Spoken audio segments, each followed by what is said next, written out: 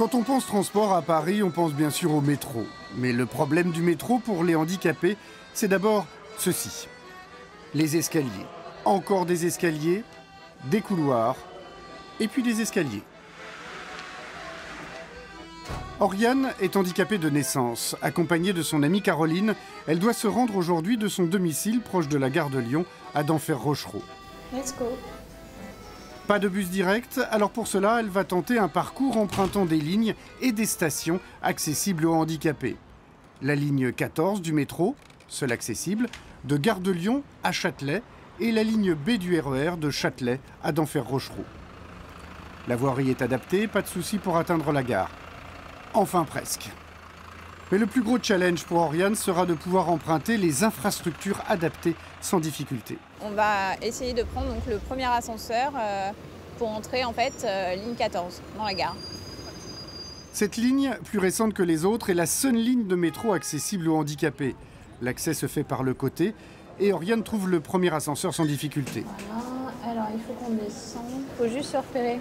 Arrivé au niveau des voyageurs, il faut maintenant trouver le deuxième ascenseur. On va demander au monsieur. Mais la signalétique est insuffisante, il faut demander de l'aide. Et elles vont devoir passer par des endroits improbables, comme ce parking.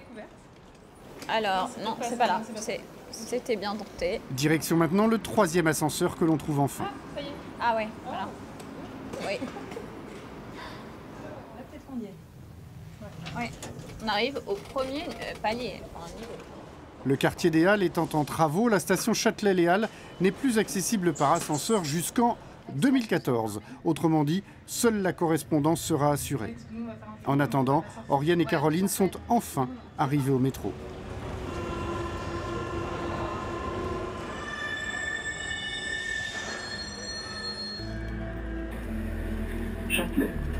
Une station pour arriver à Châtelet et c'est reparti pour une série d'ascenseurs qu'elles espèrent en bon état de fonctionnement.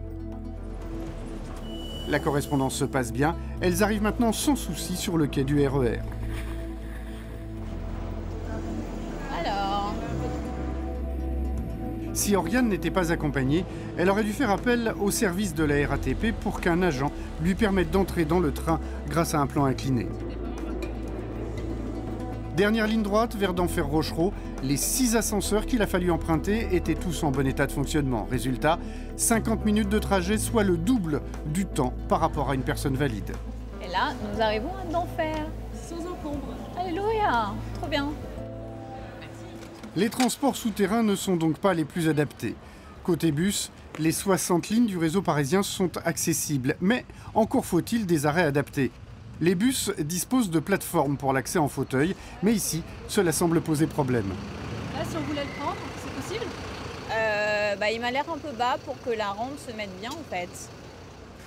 Seuls 80% des arrêts sont adaptés, et ce chiffre baisse pour la plupart des villes de banlieue par manque de coordination entre les mairies et les entreprises de transport. La sécurité est déclenchée. C'est pas un arrêt de bus adapté pour ça. Non, ça sent. Le trottoir est trop haut. Trop haut. Le tramway, quant à lui, a été conçu pour être parfaitement accessible grâce à une co-maîtrise d'ouvrage entre la RATP et la ville de Paris. La RATP a eu la maîtrise d'ouvrage de la station et puis de la voie ferrée et la collectivité a eu la maîtrise d'ouvrage de l'aménagement de tous les abords et notamment les traversées piétonnes. La loi fixe à 2015 la date limite pour rendre l'ensemble des lieux et transports accessibles. En attendant, Oriane choisit le plus souvent d'éviter les transports en commun. Aujourd'hui, elle emprunte le PAM. C'est le service parisien de transport des personnes handicapées. Sur réservation, une voiture vient la chercher chez elle et la dépose où elle veut dans Paris. On peut dire que c'est un luxe. On peut dire que c'est un luxe complètement. Parce que même si la mairie euh, subventionne et que les prix sont quand même relativement euh, bas, c'est vrai, par rapport à un taxi classique. hein.